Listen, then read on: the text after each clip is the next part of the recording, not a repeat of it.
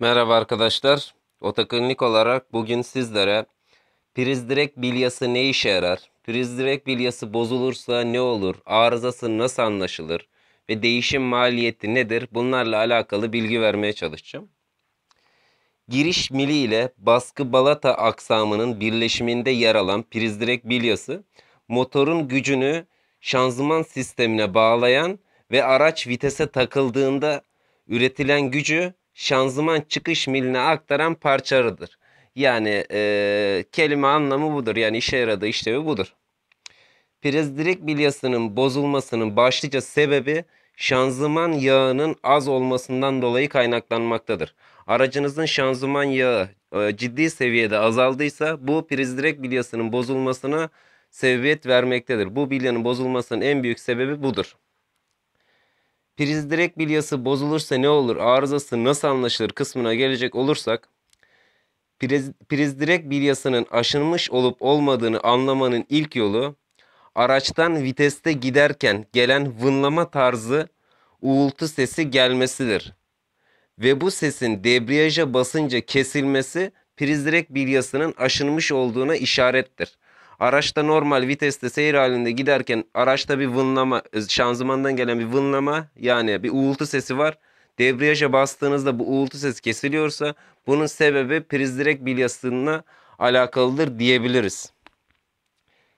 Bunun yanı sıra bu sese e, aldırmadığınızda priz direk bilyası e, oldukça çok aşınmışsa araçta viteste giderken vitesin boşa atması gibi bir durumda priz direk bilyasının çok aşınma çok aşınmasında e, boy gösterebilir.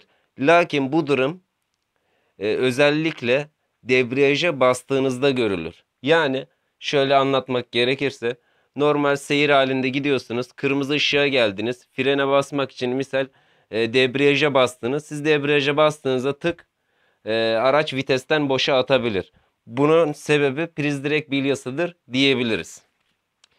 Onun dışında vites değişimlerinde ses ve kısa süreli titreşimde priz direk bilyası e, çok aşındığında görülmektedir.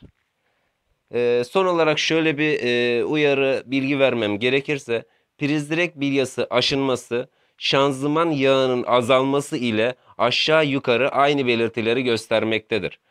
E, yani aracınızın şanzıman yağının bitmesi yani azalması ve priz direk bilyasının aşınması aşağı yukarı aynı arıza belirtilerini vermektedir. Bu sebeple bu tarz arıza belirtileriniz varsa ilk önce aracınızın şanzıman yağının seviyesini ve şanzıman yağının e, işlevini yitirip bitirmediğini kontrol edilmesi gerekmektedir. Eğer ki aracınızın şanzıman yağı yeterli seviyede ve değişim süresi e, zamanı gelmediyse aracınızın priz direk bilyası aşınmıştır diyebiliriz arkadaşlar.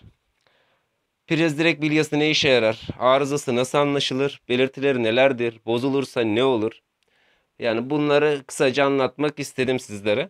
E, priz direk bilyasının değişim maliyeti aracınızın şanzımanının ne kadara indirilip takıldığı ve parçanın fiyatına göre değişmektedir. Her, araç, her araçta aşağı yukarı e, fiyat aynıdır diyemeyeceğim. Çünkü yeni araçlarda priz direk fiyatının fiyatı farklı, eski araçlarda farklıdır ve aracınızın şanzımanın ne kadara indirilip ne kadara kaldırıldığı fiyatını belirlemektedir. Şimdi videoyu e, belli bir araç kesimi izleye, izlemediği için e, tam bir fiyat vermem mümkün değil ama bu şekilde hesaplayabilirsiniz. Bu konuda sizlere aktaracaklarım bu kadar. Sormak istediğiniz soruları her zamanki gibi açığım. Beni dinlediğiniz için teşekkür ederim. Kanalıma abone olmayı unutmazsanız sevinirim.